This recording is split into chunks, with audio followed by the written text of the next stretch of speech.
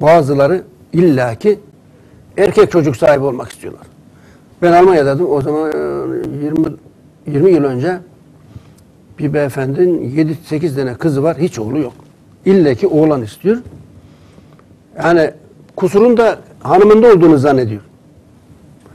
Şimdi Almanya'ya gitmiş orada özel hastanede muayene oluyor. Onlar spermi, iki çeşit sperm var. Erkeklik hormonu taşıyan spermlere X, X kromozomunu taşıyan o, spermler erkek sperm denir.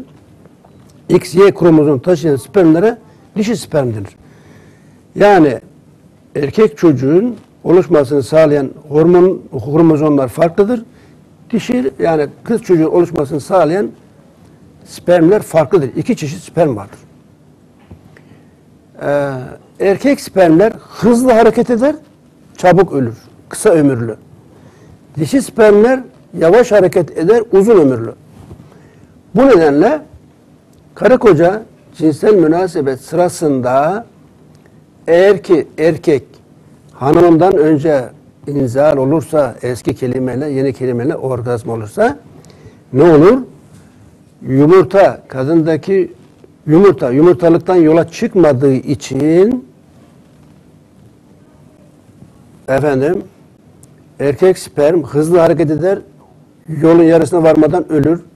Doğacak çocuğu ne olur? Kız olur. Yani buradaki problem bayandan değil, kadından kaynaklanıyor. Şey, erkek bayandan değil, erkekten kaynaklanıyor. Erkek kendini kontrol edebilse, hanımından sonra rahatlasa çocuk erkek olur. Ama bununla ilgili ben böyle bir şey duyunca dedim ki Allah Allah. Peygamber Efendimizin bir hadisi var. 1400 yıl önce Peygamberimiz diyor ki erkek çocuk sahibi olmak isteyenler hanımıyla şu şekilde ilişkide bulunsun. Kız çocuğu sahibi olmak isteyenler bu şekilde ilişkide bulunsun. Peygamberimiz bunu hadis var. Profesör Doktor İbrahim Canan'ın kitabındaki e, bu hadisi okuyunca şaşırmıştım. Yapmış olduğum araştırmalarda bunun böyle olduğunu tespit ettik. İsteyen erkek çocuk, isteyen kız çocuk sahibi olabilir. Evet. Herhangi bir hastaneye gitmeden evde bunu deneyebilir.